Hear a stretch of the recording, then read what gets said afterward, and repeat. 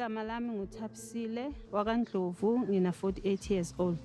Isizathu esenze ukuthi ngibhalele ku-step in indaba kaSibusiso yokuthi wenze ku-status uthi ufuna ukwazi ukuthi why ngahamba ngabashiya ubaba wakhe uze wafa engabatshelanga ukuthi why ngahamba ngabashiya abantwana ngibatshelanga isizathu ubaba wabo bazi indaba yokuthi bengibona ukuthi bazophatheka kabi laba abayi-two because laba bokuqala abasebe basemshadweni laba abayi-two abasemshadweni. So lo baba wathi akasabafuni laba abayi-two abangasiwe basemshadweni. Ubudlelwane bami nabantwana manje abukho right. Isizathu esenza ukuthi ngiqale ukufuna ukulungisa izinto manje usibusiso uye wangicela kule yinyanga eyiphelile wathi abakhoni ukuhlala bodwa bacela ngikubo so manje angikhoni ukuthi ngingazivele ngisuke ngibuyele emuva because kuney'nhlamba abebengithuka ngazo. Seke bangibeka nezandla bonke bowu-four uma ngikhuluma nabo bayangiphusha. So yingakho manje kunzima ukuthi ngivele ngibuyele kungcono sikhulume nabo ngibuza ukuthi kungani? Abengibeka isandla So she was caught between a rock and a hard place. And she did what was best. Mhla agugile angasakwazi ukusebenza uzobona ubani? Nikhona nini? Niyakwazi ukuthanda amantombazana. You are falling in love, you are having babies. Ni expect her so much from this person. Yet we've never taken your time to say, "Mom, kwenzakalani?"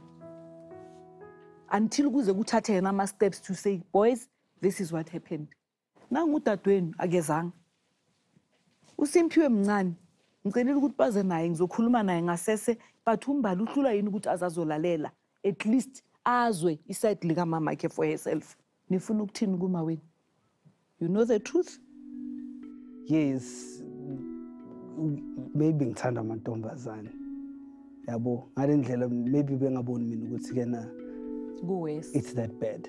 Yile argument enkulu esesaba nayo lo mama engikhumbulayo mina of which nami probably i said stuff bengamelanga ngize ngi- ngizisho. Yabo out of anger. Yes kona kubi ukuthi kena she didn't explain para but i understand why. Mina nginankinga yokuthi ngize sihlale phansi sikhulumisane singathatha ilanga lonke. Omunye nomunye akhiphe okwakhe phambi koma wakhe azi ukuthi yena bekadinwa yini. And then sicale lapho ukuthi sirebuilde. Uzowakheka umndeni.